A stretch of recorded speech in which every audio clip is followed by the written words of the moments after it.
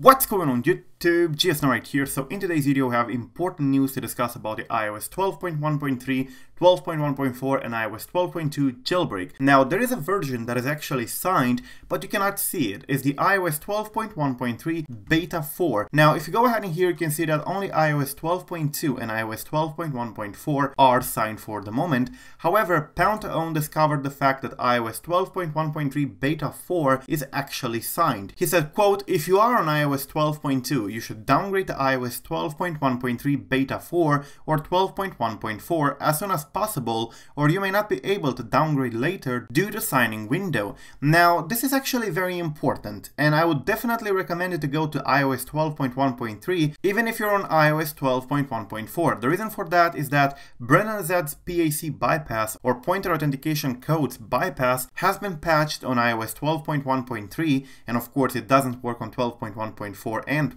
12.1.3, and neither it works on 12.2. However, at the time iOS 12.1.3 beta 4 was out, it hasn't been patched, which means that if you downgrade to iOS 12.1.3 beta 4, the PAC bypass will work and we will be able to jailbreak the A12 devices much much easier. Now of course iOS 12.1.4 and 12.1.3 the final version does indeed patch that so there might be problems later for the iPhone 10R, 10s and 10s Max users because of that. So if you can please downgrade right now because it may be unsigned at any point. So yeah definitely do that and of course speaking of A12 Pwn20wnd has lost his A12 device which means that the a12 jailbreak is currently delayed for iOS 12.0 up to iOS 12.1.2. You probably know that the A12 devices are basically the uh, iPhone 10s, 10s Max and 10R and of course the latest iPads which are A12X. So for those of you who are waiting for the A12 and A12X jailbreak,